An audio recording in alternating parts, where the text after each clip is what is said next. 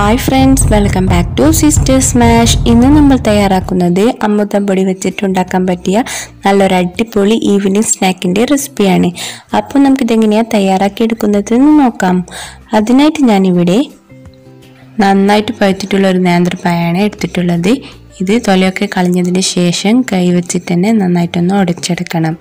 ഇത് കൈവച്ചിട്ടൊന്ന് ഉടച്ചെടുത്തതിന് ശേഷം ഒരു സ്പൂണോ ഫോക്കോ വെച്ചിട്ട് ഒന്നുകൂടി ഒന്ന് നന്നായിട്ടൊന്ന് ഉടച്ചെടുക്കണം. ഇനി ഇതിലോട്ടേക്ക് അമൃതപ്പൊടി ഇട്ട് കൊടുക്കാം. ഞാനിവിടെ ഒരു കപ്പ് അമൃതപ്പൊടിയാണ് എടുത്തിട്ടുള്ളത്. അതിൽ നിന്നും ഒരു മുക്കാൽ ഭാഗത്തോളം നമുക്ക് ഇട്ട് കൊടുക്കാം. പിന്നെ ഒരു പിടി തേങ്ങ ചെരുക്കിയതും കുറച്ച് ഏലക്ക പൊടിച്ചതും പിന്നെ മധുരത്തിനാവശ്യമായിട്ടുള്ള ശർക്കര പാനിയും ഒഴിച്ചു കൊടുക്കാം. നമുക്ക് ശർക്കരക്ക് പകരം പഞ്ചസാര വേണമെങ്കിലും ഉപയോഗിക്കാവുന്നതാണ്. ഞാനിവിടെ രണ്ട് ശർക്കരയുടെ പാനിയാണ് എടുത്തിട്ടുള്ളത്. ഇനി ബാക്കിയുള്ള അമൃതപ്പൊടി കൂടി ഇട്ട് കൊടുത്തിട്ട് ഒന്നുകൂടി നന്നായിട്ട് മിക്സ് ചെയ്ത് എടുക്കാം ഇനി ഇത് നമുക്കൊരു ചപ്പാത്തി മാവിന്റെയൊക്കെ ആ ഒരു പരുവത്തിലൊന്ന് കുഴച്ചെടുക്കണം. അതിനായിട്ട് കുറച്ച് മൈദപ്പൊടി ഇട്ട് കൊടുത്തിട്ട് ഞാനിവിടെ ഒന്ന് കുഴച്ചെടുത്തിട്ടുണ്ട്.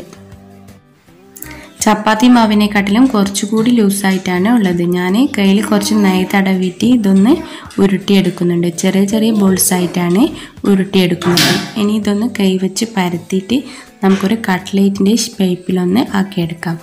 ഇനി നാല് ബ്രെഡ് ഞാനിവിടെ പൊടിച്ചു വെച്ചിട്ടുണ്ട്. പിന്നെ ഒരു മുട്ടയും പൊട്ടിച്ചിട്ട് ഒന്ന് കലക്കി വെച്ചിട്ടുണ്ട്. ഇനി ഇത് ഓരോന്നും നമുക്ക് മുട്ടയിലോട്ട് മുക്കിയിട്ട് ബ്രെഡ് ക്രംസിലോട്ട് ഡിപ്പ് ചെയ്തിട്ട് എടുക്കാം.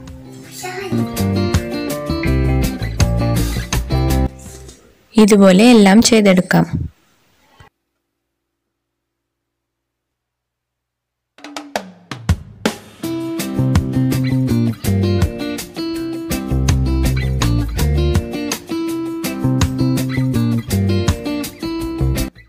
ഞാനിപ്പോൾ എല്ലാം ഇവിടെ ഒന്ന് കോട്ട് ചെയ്തെടുത്തിട്ടുണ്ട്. ഇനി നമുക്കിതൊന്ന് ഫ്രൈ ചെയ്തെടുക്കണം.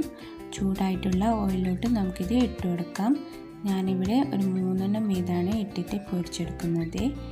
നമ്മൾ ഒരു മീഡിയം ഫ്ലെയിമിൽ വെച്ചിട്ട് വേണം ഇത് പൊരിച്ചെടുക്കാനായിട്ട്. എന്നാൽ മാത്രമേ നമുക്ക് ഉള്ളൊക്കെ നന്നായിട്ട് വെന്ത് കിട്ടുകയുള്ളൂ.